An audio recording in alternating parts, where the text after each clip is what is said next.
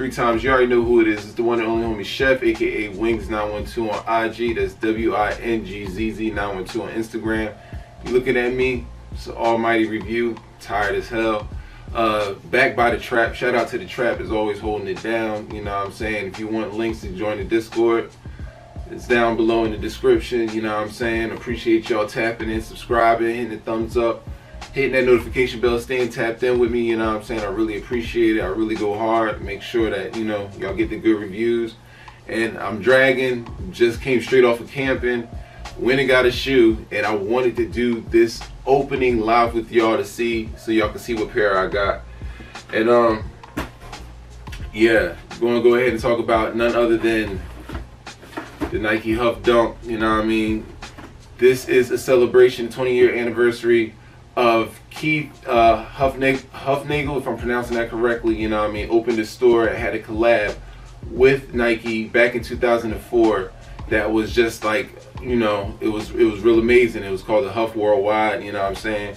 He opened up a store in NYC in 2002, and he's originally from San Fran. So this dunk is going to be based off of either an NYC colorway or San Fran colorway.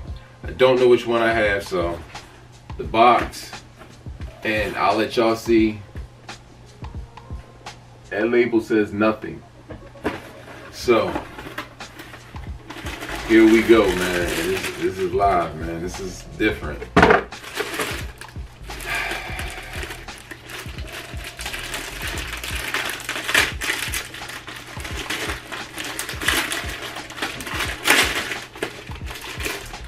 Bruh, this is crazy.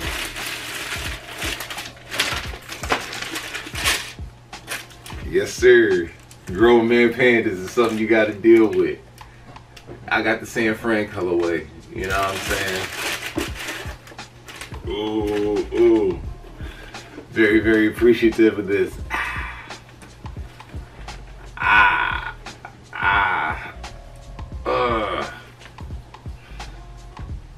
So now that we got them in hand, let's get into them.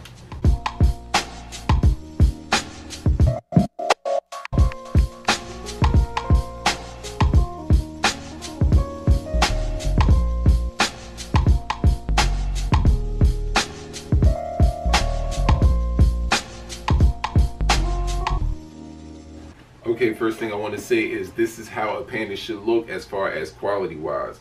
I love the quality of leather that is in this shoe and it's just amazing.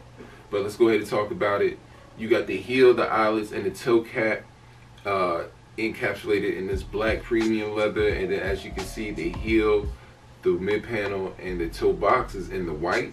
The one thing about it is this mid panel comes off and there is orange tie-dye behind it, which is kind of cool. I don't think I'm gonna take my panel off, but that's a good addition. On the toe box, as you can see, it has the HUF stamp, and then not only that, but it has that that hard enamel Nike check in silver. And then as we go up, we have the tongue of the shoe, which is in an off-white cream kind of sail color with the same matching laces. And at the top, says Nike SB San Fran. But behind each tongue is a hidden message. Behind the left shoe is 20 years of HUF, and behind the right shoe is 20 years of Nike SB. And then when you come to the heel, as you can see, it has Keep Forever in that orange San Francisco Giant print.